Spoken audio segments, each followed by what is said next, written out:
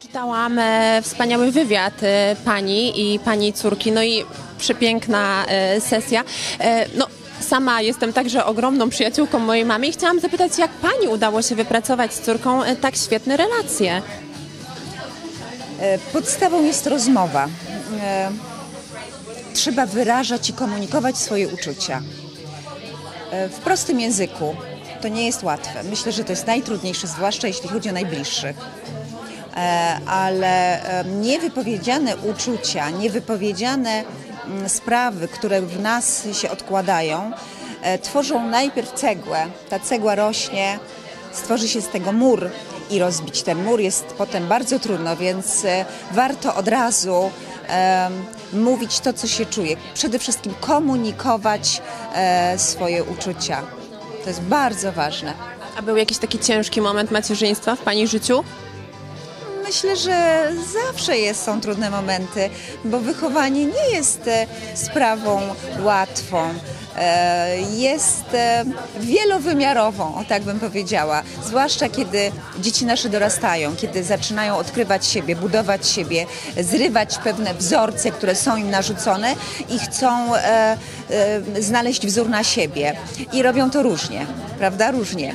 A rola rodzica jest w tym momencie bardzo trudna, bo nie warto zabraniać odkrywania. Nawet czasem, jak one są ekstremalne, bo e, młody człowiek musi e, odpowiedzieć sobie na pytanie, kim e, jest, a nasza rola rodziców jest taka, żeby nie narzucać swojej osobowości dziecku. Ono musi ją zbudować samemu, więc różnie, różnie to bywa w wychowaniu, ale macierzyństwo jest niezwykłym przeżyciem dla kobiety. To prawda.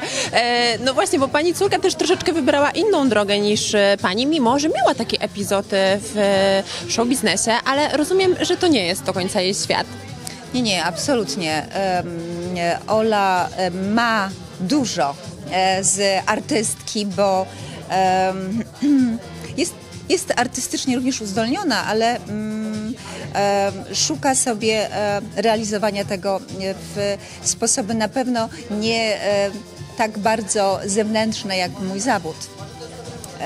Ale jej takim konikiem, jej potrzebą jest e, e, pomaganie e, ludziom i właśnie odszukiwanie siebie, swojego środka, naprawianie, e, zbudowanie siebie po to, żeby móc e, po prostu szczęśliwiej żyć. Więc e, bardzo trudny to jest zawód, bardzo trudny.